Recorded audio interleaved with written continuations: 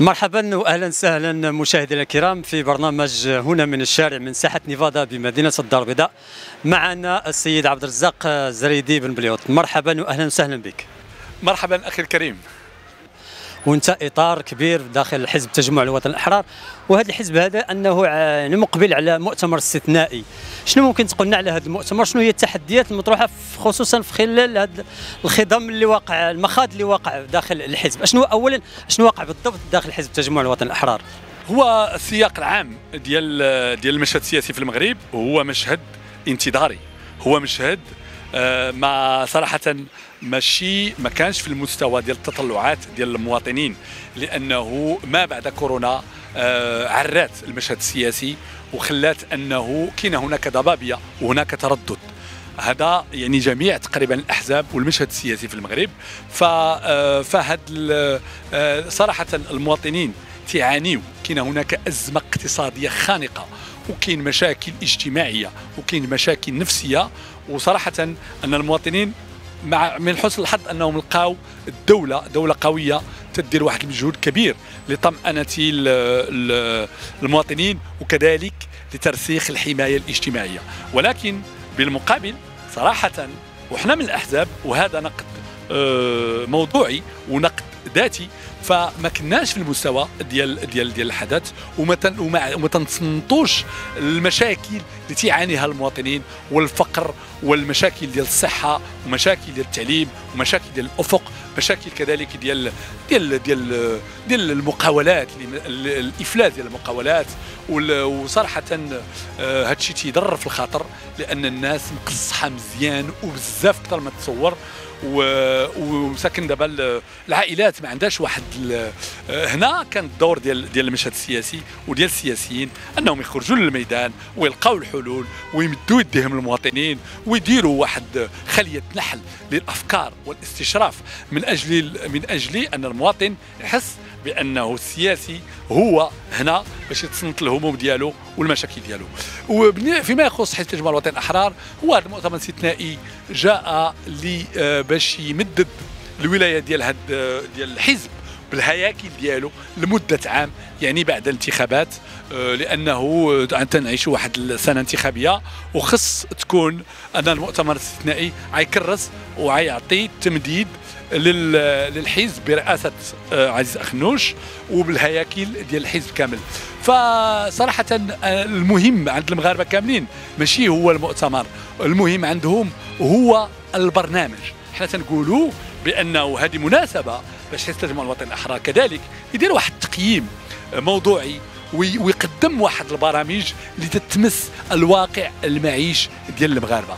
يعني أنه الحزب خصو يفكر ما بعد كورونا. يعني خصنا رجالات ديال المرحلة. كما قال جلالة الملك حفظه الله في الخطاب الأخير ديال افتتاح البرلمان قال بأنه إحنا خصنا رجالات ديال المرحلة. ولحد الآن الأحزاب وبما فيها تجمع الوطن الاحرار مازال ما شناش هاد رجاله المرحلة مازال تنتظرهم وهذا هو اللي خصو يجاوب عليه المؤتمر الاستثنائي خصو يجاوب واش هناك رجالة المرحلة؟ واش هناك آه، وجوه جديدة؟ واش هناك طاقة جديدة؟ واش هناك حيوية جديدة؟ واش هناك أفكار جديدة؟ باش المواطنين يتيقوا في السياسة وتكون واحد المصداقية. ما يمكنش حنايا بخطاب قديم وبوجوه قديمة وبتزكية ديال ديال الناس ديال الأميين وديال وديال وديال تجار الانتخابات. غنقدروا نقنعوا المواطنين بما بعد كورونا وبالمرحلة الجديدة. فهذا تقييم خصو يكون وخص الإخوان. ديال حزب الوطن الإحرار والمؤتمرين يتكلموا على هذا الموضوع المواضيع اللي تتهم الواقع المعيش ديال المغاربة. يعني إحنا ما خصناش الشعارات شعارات ما بقينا ما بقينا نديروا والو لأنه المغاربة بغاو حلول لأنه الوقع ديال الأزمة الاقتصادية خانقة والأفق اللي تيبان مسدود خصو ناس ديال الاستشراف خصو ناس عندهم الحس القيادي خصو ناس ديال المرحلة ناس ديال التضحية.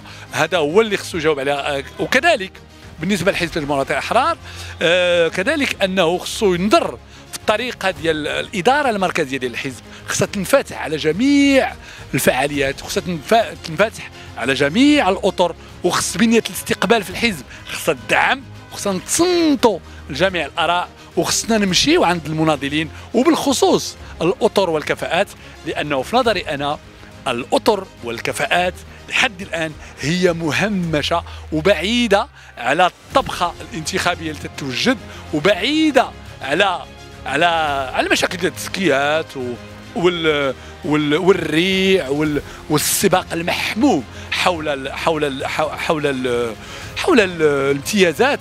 فهذا ما تيخدمش العملية السياسية ديال حزب الجمهوريه الأحرار لأن حزب الجمهوريه الأحرار دار واحد المجهود جبار واستثمر في الإعلام واستثمر في في المشروع ديال مسار الثقة وعنده طاقات كبيرة. فحشومة وعار أنه هو اللي موجود دابا باش يوجد للمغاربه الحلول ما بعد كورونا. ولكن خصنا خصنا المنهجية باش ان باش نقدروا نقنعوا ونبعثوا خطاب الثقة ونمشيو في مسار الثقة بدون إقصاء ونفتحوا على الناس الآخرين لأن الحزب ما ديال حتى واحد الحزب ديال جميع المناضلين ديال ديال ديال الأحرار كانوا اطرا أو مناضلين نساء وكهولا وشباب.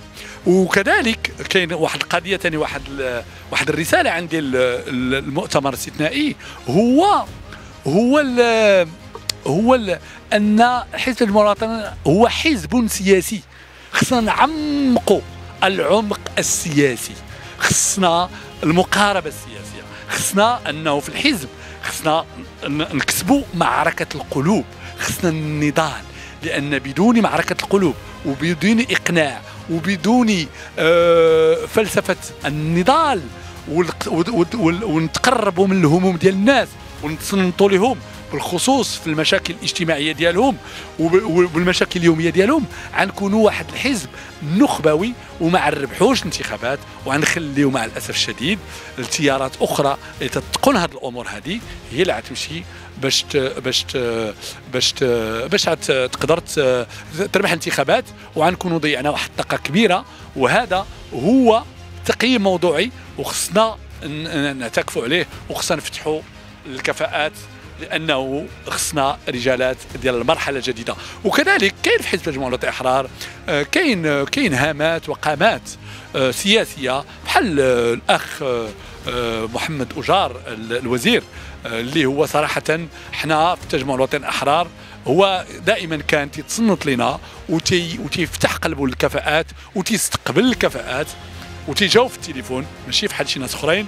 فهو دائما كان تيتصنت لنا وهو وهو تيحضر الكفاءات. فاحنا خصنا ندعموا هذا الاتجاه هذا ديال القيمة السياسية ديال العمق السياسي. لأن إحنا حزب ديال ديال الديمقراطية الاجتماعية وخصنا ندعموا هذا لأنه إحنا ماشي حزب ديال إحنا حزب سياسي.